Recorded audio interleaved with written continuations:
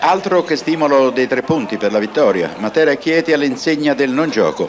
Passi per gli abruzzesi consapevoli dei loro limiti offensivi con Aureli, unica punta peraltro senza alcuna efficacia. Ma dal Matera al suo esordio sul campo amico dopo la lunga squalifica ci si attendeva un prodotto migliore. Partito benino, si è poi gradualmente sempre più smarrito e messo il gioco sul piano individuale non è venuto più a capo. Chieti invece determinato, essenziale e anche cinico per ottenere il pareggio. Dopo sette minuti la prima azione di rilievo, lo sacco irrompe in area e salva il portiere. Altri tentativi con De Rosa, il primo tiro è parato, il secondo va fuori. Grosso pericolo per il Matera quando Picci va vicinissimo all'autorete ed è il palo a salvare Bruno.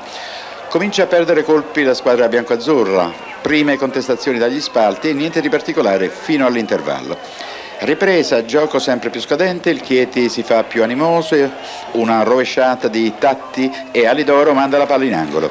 Poi finalmente una bella conclusione con Bressi, gioco sempre più frammentario, Matera vittima del nervosismo e rende sempre meno. Una sola grossa opportunità con una rovesciata di Mucciarelli, poi solo fischi e il Chieti esulta.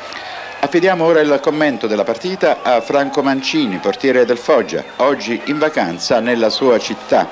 Certamente non è stata una partita brillante come uh, speravo e molta gente che è venuta allo stadio sperava. Sul comportamento del pubblico lei che dice? Ma io lo giustifico, da una parte, però dall'altra dico che non, eh, è chiaro che eh, si deve incitare la squadra eh, per tutti i 90 minuti, però a un certo punto se al tifoso non è piaciuta la partita può criticare al 91esimo. Cosa è mancato alla Matera? Ma certamente molta lucidità. io non ho visto, è chiaro che ci sono dei giocatori che sono arrivati da, da, da poco, quindi bisogna, bisogna lavorare ancora. Due parole sul Chieti per concludere?